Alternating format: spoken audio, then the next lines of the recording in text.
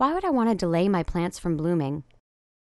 Oh, this is really a fun technique, and I tell people this is when we go beyond the mow, blow, and go, where it's just the simple deadheading or just simply cutting back after flowering. We want to delay flowering if we're into flower arranging. We can have um, flowers much later into the season.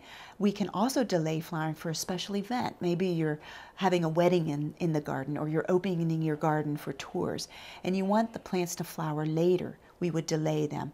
Um, one other reason, too, is if there might be something not quite right in a design combination and you don't like the colors that are being used at the same time. If you delay the flowering on one plant, you won't have that jarring color combination at the same time.